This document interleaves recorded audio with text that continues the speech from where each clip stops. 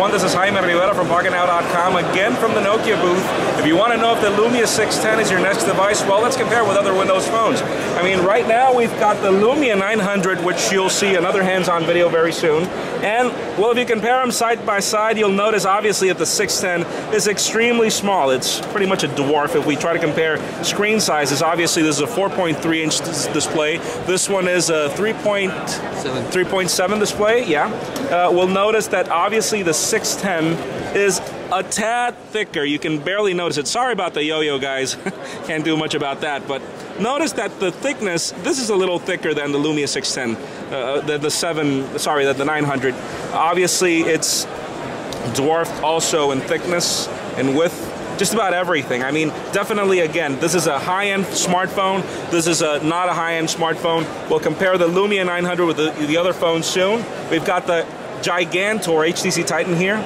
Obviously, a huge device. It's not a fair comparison. Remember, this is a flagship phone. This will look a lot better beside the Lumia 900, which you'll see soon.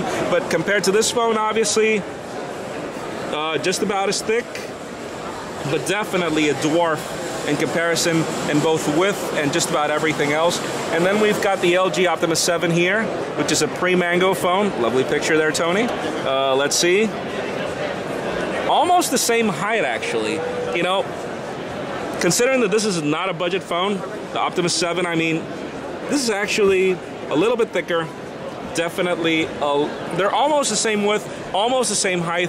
Both really good Windows phones. I mean, just if we were to compare it, if we were to tell you, hey, would you want to get a 610? Again, there's a great entry-level phone for your kids, probably for, you know, a gift for somebody.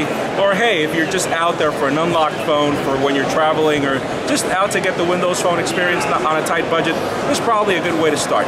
Thank you very much. This is Jaime Rivera from Pocketnow.com. Tony on camera. Lucia, you got the coffee, man? Of course. Okay, thank you. Bye-bye.